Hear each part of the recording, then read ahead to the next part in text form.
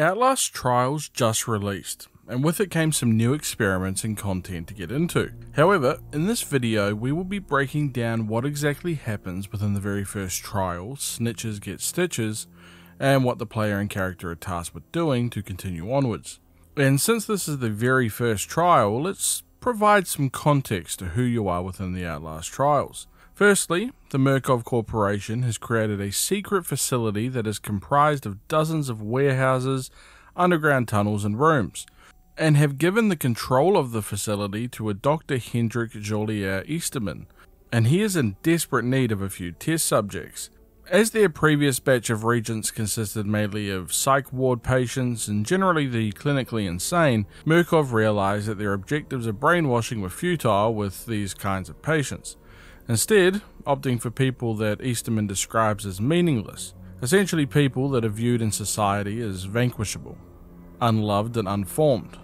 If they went missing, nobody would notice, care, or more importantly, investigate where they went. This is where the player comes in. We are the described meaningless people. And the first point of action for Murkoff after acquiring their new reagent is to install a pair of night vision goggles onto their skull which more times than not is actually second hand. Gross. After which you will be awarded with your new domicile, fitted with weights, a sink, and whatever the hell you want to spend your Murkoff dollars on, after they reward you for your efforts in the trials. But to be honest, this is probably a lot nicer than whatever the reagents were living in prior to being abducted, so I guess we can find a single positive in this whole thing.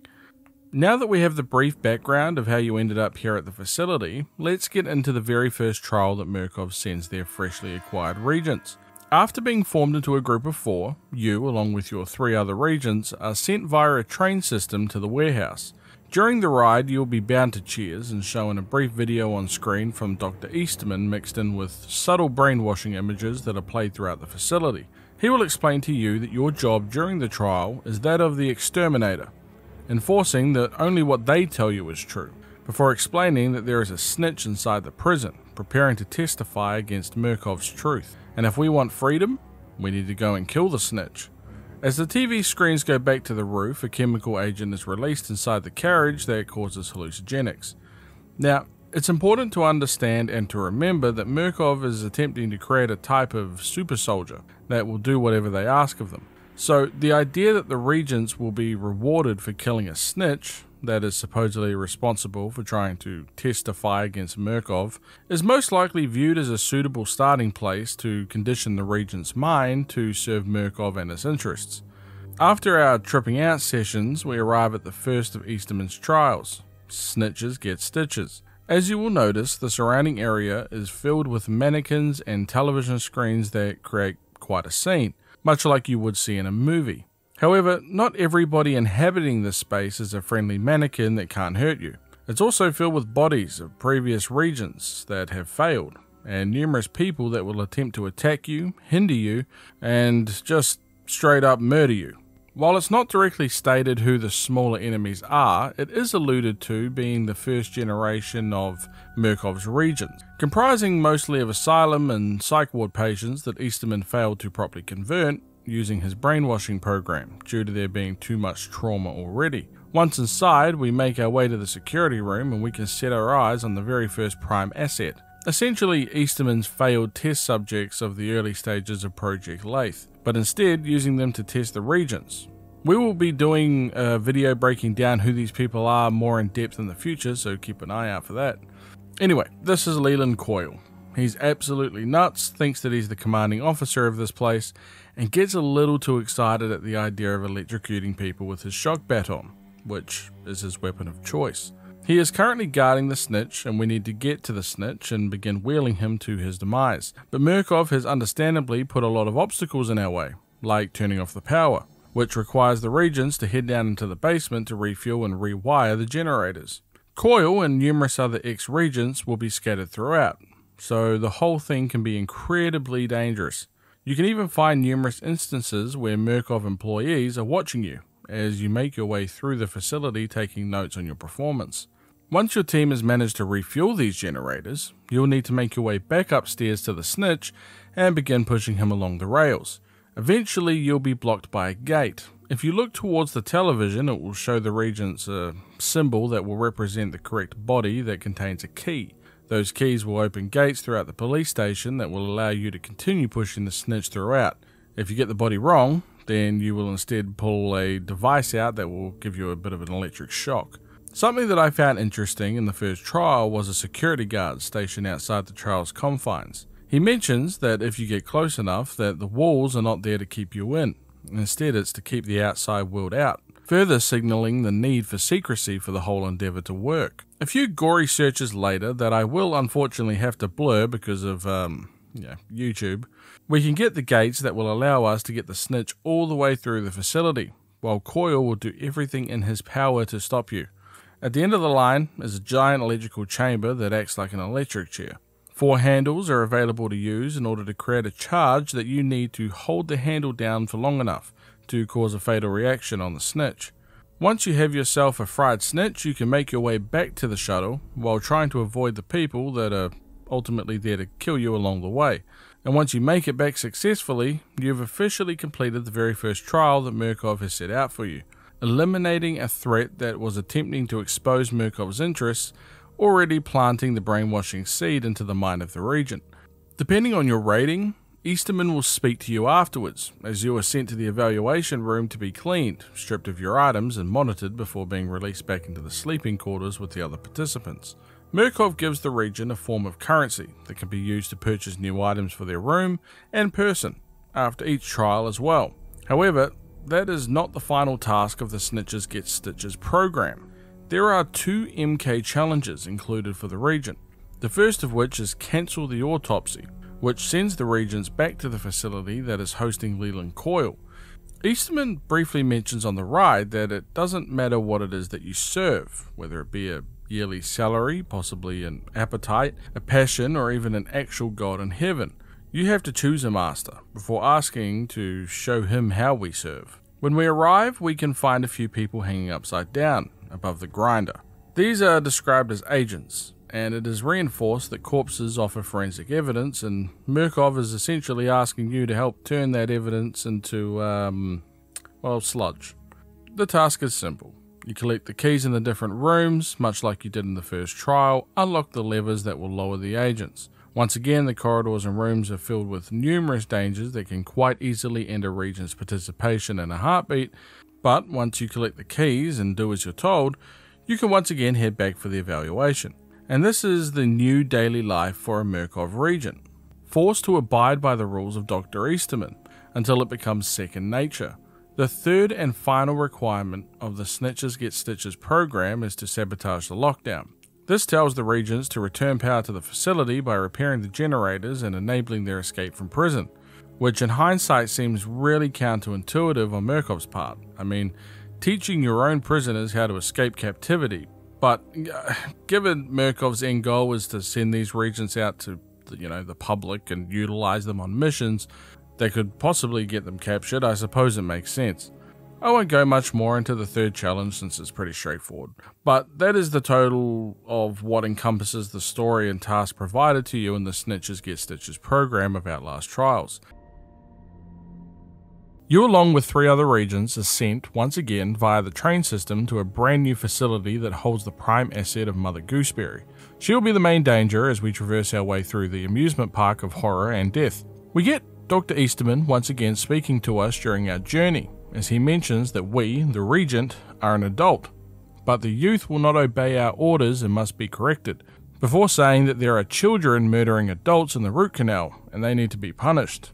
Now, don't freak out. I will quickly clarify that the children being spoken about are simply hypothetical and are only mannequins and dolls. But the underlying theme in regards to the brainwashing is as serious as you could imagine. And once we finally arrive at the set, which is actually named Futterland, which can actually be found on posters and signs around the park, we can see just what levels Murkoff is willing to go to in order to create an immersive experience for their reagents. And I think you have to salute the effort, as incredibly terrifying as it might be. We can see Mother Gooseberry parading above the door as she is dancing with a mannequin. And her quirk is the fact that she has this little duck puppet in her hand which she calls Dr. Futterman, hence the name of the amusement park.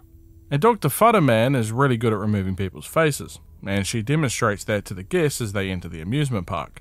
A fun little thing that you can find as you traverse the landscapes of Fudderland is numerous mannequins and people will have skin faces that she literally leaves scattered all around the place. Once we manage to enter the park, we will once again be joined by various failed ex reagents from earlier versions of Project Lathe, much like we did in the police department. But the amusement park is full of everything that you could imagine rides, games, tickets, or even a diner, except for the gory outlast kind of fun. Our very first job is to unlock the gates to the area called the Root Canal, in order to get entry, the reagents must collect tickets by playing the carnival games, but instead of using balls, you're using human hearts. Once you complete the game, you take your ticket to the fancy ticket collection robot, and after four tickets, you're actually allowed in.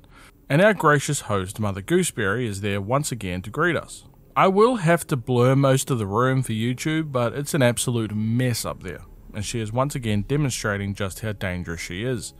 A little ride car appears, and we need to wheel it throughout the root canal to uh, punish the children at the end. Again, they're not real, just some mannequins that are treating a real person very poorly in their cart. The ride is supposed to be a kind of water ride, and you will need to re engage the water flow so the cart can continue to be pushed throughout the area. And speaking of area, much of the ride is dressed to look much like the human mouth, but with rotting teeth and such, hence the root canal name but it also has a lot of things that you would expect in a child's toy box, like building blocks and rubber duckies. So it's not all horrifying. Once you push the cart all the way to the end, you'll find yourself a giant grinder that you'll need to push the mannequins into in order to punish them. And after doing so, the reagents will need to hit the burners and flee the ride, and hopefully the trial altogether. Once they arrive back, Murkoff will once again clean and strip the reagent of all items and return them to the sleeping room, with a big wad of Murkoff dollars to go and buy that badass robot action figure. And then send them back to do even more deadly trials. This time to punish the miscreants. This is largely a similar premise. The reagents will arrive back to Fudderland, but this time the place has a quick coat of paint on the exterior walls, which will distinguish the areas a little bit more. There is a grinder in the main room, and there are four child mannequins that are creating trouble throughout Fudderland. Your job is to find them, deactivate them, and ultimately return the mannequins into splinter form using the grinder. And they once again will have to deal with Mother Gooseberry, as she is not very fond of reagents coming into her place and disrupting the children's mannequins. Also, a fun little addition to the level is that the reagents typically, if you don't want to be seen, will need to sneak around to not be noticed. However, once you have the mannequin in your hands, they will have a little voice box inside of them that will yell out for help and ask the failed reagents and Mother Gooseberry to, uh, you know, murder you, revealing your location for everyone around you, so this is a little more dangerous for the group. Once you've ground all the miscreants, you can head back onto the train and head back to the sleeping quarters.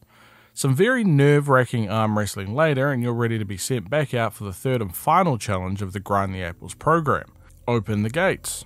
You will return to Fudderland and you will need to unlock the gates preventing you from leaving.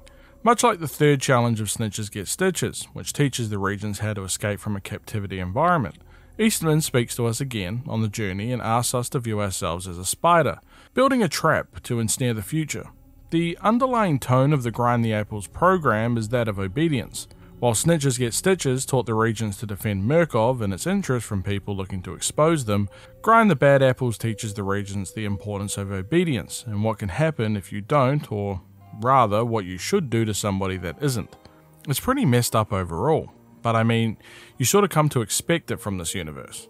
Much of this challenge takes place in the background area of Fudderland, which has a whole bunch of wires scattered throughout that needs to be deactivated in order to open up the gates. And once you do, you'll get your grade and will be ready to head back once again. After a quick wind down in the sleeping quarters with your fellow reagents, you'll be placed back onto the train system by the Murkoff employees. Dr. Eastman once again gives us some words of advice, speaking about how even education and faith must follow mandates, and reinforcing the children will learn obedience. A similar lesson that was learnt in the Grind the Apples program. He says to shape them young and they'll be Murkoffs for life, very creepy if you ask me, and some words pop up on the screen explaining some of the core principles no drugs, no rebellion, and no lust. So I guess Easterman draws the line between those and straight up murder and brainwashing, but sure. Also, once again, for clarity, the children mentioned are just mannequins living their best life. Once we arrive, we get to see the set that has been created for the third program, and this time it is an orphanage. If you play through the introduction sequence of Outlast Trials, you might have visited this place already, but this time we return with friends, and as you could imagine, from the outside of the orphanage, it actually doesn't look that bad. But once you get inside, wowee, it's a mess. And whoever decided on the interior design needs to get fired because holy crap, those things are some nightmare fuel paintings. Our first objective is to start turning off some of the security systems in order to open the gates around the orphanage. More importantly, the children's dormitories, as they have other technical tuners to unlock the gates to the outside area. Once we arrive at the dorms, we can find mannequins placing their heads in piles of uh, sugar and baking soda. Totally not drugs of any kind. And also, this thing, which I can honestly say gave me about three heart attacks as I ventured throughout this area. And speaking of heart attacks, we got Mother Gooseberry again, wreaking havoc in rooms and hallways of the orphanage, which I must say is probably even more scary than the carnival since it's now in much smaller spaces and corridors instead of the open areas of the carnival. After doing all the tuning, the reagents open up the gate to the classrooms, which will require you to go throughout the classrooms changing the film on the projector to some classic Murkoff propaganda. I have to be really selective about what footage I show throughout this because the entire orphanage is filled with nun mannequins in very risque attire and positions, so I apologize if this part is a little chopped up. Anyway, once the propaganda has been placed in the classrooms for the children to enjoy, it is now our job to head back to the reception desk and open up the gate that will lead us out to the chapel. And this area is where things are about to get really crazy for the reagents, and what is quite possibly the craziest thing I have done or seen in a horror game. And for YouTube's sake, I will need to blur much of it, but I'll try to explain the best I can for you. Inside the chapel, you could easily be mistaken at first for its very wholesome scene. Disco lights while child mannequins dance and play between the pews. It's only when the lights turn on that we realize the true horror of the situation. This is an individual that is viewed as a non believer, and in this case, we aren't talking about God, but instead Murkoff. He is tied up at the cross, and the reagents are tasked with collecting the saw handles while also turning on the generators to power the mannequins. And once we arrive, the reagents need to um, chop his legs off, essentially. Trust me, it's really graphic, and Outlast really turned up the gross meter for this particular program. But once that's all finished, we need to turn on the mannequins as they will have a big old dance in the fake blood and eat from the uh, offerings that the regents just gave them. Yeah, I'm not kidding. Now it's time to flee the orphanage and head back to the facility to be judged and placed back into the sleeping quarters for a round of arm wrestling to cope with what just happened. Our job, however, is not over. We must head back for our next challenge, which is to feed the children. This will take us back to the orphanage, but instead of being inside the main building, we will make our way to the cafeteria, where all of the mannequins have been placed, ready for their Monday night dinner. What is for dinner, you might ask? Well, let's let's just call it Mystery Meat Mondays. And we need to go around the outside areas and search for the main stock ingredient for our soup. In this case, it's bleach which is an incredibly deadly and toxic concoction, probably even for mannequins. Once the bottles have been collected, we can take them back and fill the pot and eventually serve the food using the graciously set out pipeline that will take the soup straight to the tables. The mannequins will dance around with excitement, while the reagents will jump around flailing for their life as Mother Gooseberry is coming to murder them. We get out of there and are now only left with a single challenge left foster the orphan, which will put us back at the orphanage, but this time we need to tune all of the frequencies to allow us to save the children from Mother Gooseberry and find them a new home. Or if you're me, just hide in the cafeteria freezer for 10 minutes while the other reagents get that job done for you. This is actual footage, by the way. It's not a still image. Remember, folks, work smarter, not harder. Once we get the lobby gate open, it will allow the children to flee and also allow us to flee for the very last time, at least from a trial perspective. But that is the final challenge that Murkoff has in place for the Cleanse the Orphans program. That, however, is not the final thing that Reagents will be tasked to do, but I will give you a small overview here. Essentially, there is a thing called Program X, which needs to be completed. It's redoing the same three programs again, but on a higher difficulty. But if you can finish everything, then you get to unlock enough tokens to be reborn. What does that mean? Well, we will be releasing the big main story explain video for Outlast Trials in the next few days. that will explain absolutely every background detail of the story from Outlast Trials, including the ending of the game. So, keep an eye out for that. If you enjoyed our little mini series on the trials, please let us know down in the comments below because we're trying out some new things to see if you guys enjoy them. Leave a like as it helps out a lot for the channel and maybe even consider subscribing for more content in the future. Until next time, peace.